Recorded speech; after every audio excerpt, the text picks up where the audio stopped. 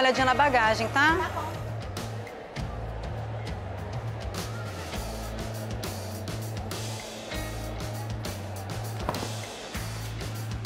O senhor coloca as bagagens em cima da bancada, por favor?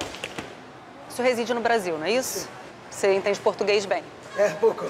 Um pouco, tá. Se eu falar devagar, o senhor compreende? devagar, devagar. Tá, joia. O senhor reside em São Paulo, é isso? Hello, bom dia. Good morning.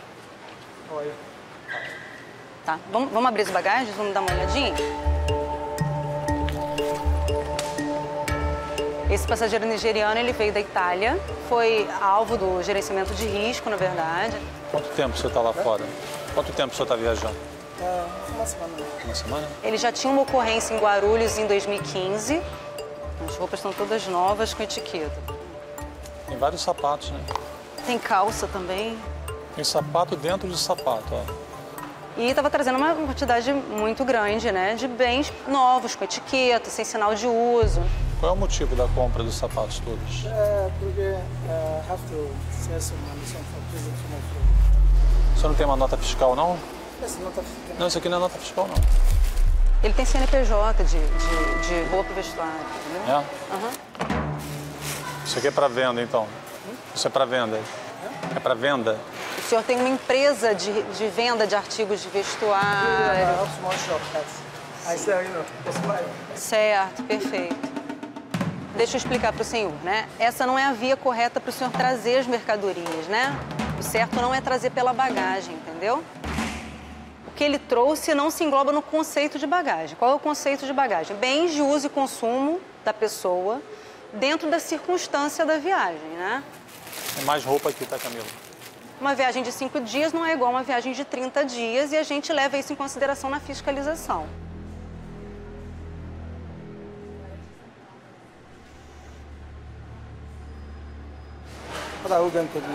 A gente vai reter por conta da quantidade, tá?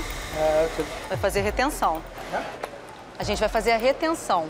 Como o senhor tem uma empresa, um CNPJ, o senhor pode fazer a importação regular dos bens, tá? But, but uh, I have to, I have to pay? Não, mesmo pagando, não tem como, não existe a possibilidade de o senhor pagar tributo para esta quantidade. Não existe essa possibilidade. O passageiro insistiu para pagar o tributo, mas nesse caso a gente não pode aplicar porque os bens não são considerados como bagagem. O senhor teria que ter trazido pelo terminal de cargas, feito uma importação regular. So? Nós vamos reter e isso vai para perdimento, vai para leilão, tá? I understand. Né? Você vai perder as mercadorias, tá?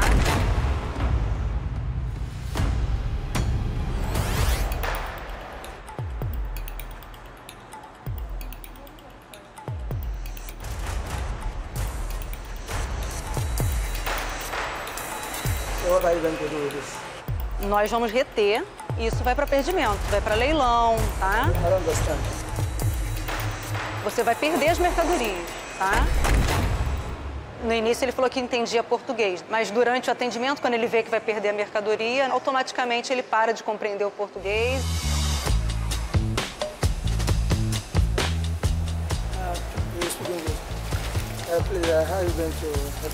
Ele quer pagar, eu já expliquei para ele que não tem como pagar. A gente não pode, não pode fazer isso. Você não pode pagar aqui. É comum que os passageiros insistam, né? Queiram ficar com os bens, queiram que a gente dê um jeitinho. Não tem como, tá? Não, não tem como, não tem como, senhor. Eu sei, senhor, mas infelizmente a gente não pode, tá? Bastante insistente, ele foi bastante insistente. O senhor já tem uma ocorrência semelhante em Guarulhos, em 2015, de retenção de uma quantidade muito grande. Contra fatos não há argumentos, entendeu? No, I don't go always. When my brother, I have my brother in Italy. Uhum. Quando tem coisa barata. Ele compra, aí você vai lá, pega e volta. Entendi, entendi. A gente vai fazer a retenção, tá bom? Na própria entrevista ele falou que ele revendia os produtos e ele tem empresa constituída, né, no Brasil. Deixa eu dar uma olhada na sua, na sua bolsa. Essa é minha coisa. É, mas eu quero ver também, senhor. Esse marido United, né? Tranquilo, eu só quero dar uma olhada. O senhor ah, pega tá ela pra mim dá uma olhada. Pega ela, por favor.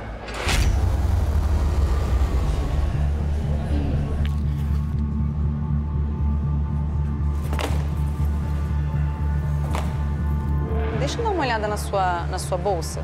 Essa é minha coisa. É, mas eu quero ver também, senhor. Esse marido United, né? Tranquilo, eu só quero dar uma olhada. O senhor pega ela pra mim, dá uma olhada. Pega ela, por favor. Just take a look, okay? Yeah, you are doing this thing personally. I have a family, understand? Ok. I have a family. So you don't do things like put frustrate. Tem mais sapato aí?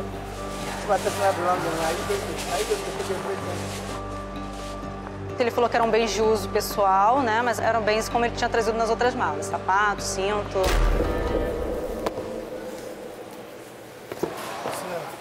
Só um minutinho. Não vou perder a conta aqui. Só um minutinho, tá? Sete. Não tá batendo aqui. Tá, esse, esse é daquele. Esse é da- qual? Esse aqui nem não, esse aqui é diferente, ó. Ah, mas ele deve ter... Esse também é diferente. Ah, mas eles foram. E esses são diferentes. Mas agora eu vou casar, tá? Não, não. Você vai ficar retido. Vai ficar retido aqui.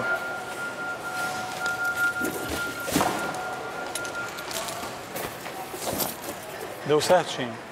Ele trouxe 54 pares de sapato, 30 e poucas calças, bastante camisa, cinto, basicamente isso. E a ocorrência anterior dele foi com o mesmo tipo de bem. O senhor quer guardar, ir guardando as suas coisas, senhor? Hein, senhor? Senhor? Senhor? Camila, ele não quer escutar agora. Em um determinado momento ali, ele nem quis falar com o André, parou de querer conversar, enfim. Isso acontece, é, é comum.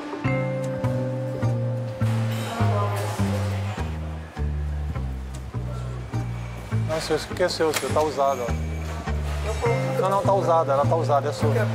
Não é não, tá usada. Pode guardar, por favor.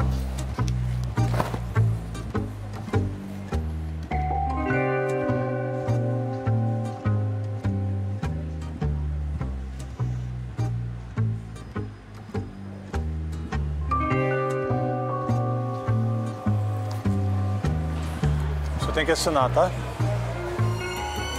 One day, one day for so- for somebody. As I cry today, one day you will cry. Senhor, assina por gentileza aqui, aqui. Essas ameaças acontecem às vezes, infelizmente, assim, jogam praga, enfim, a gente escuta algumas coisas, assim, não muito agradáveis de se ouvir, entendeu? Uma via é sua, tá bom? One day you will die. Your wickedness cannot lead you will die.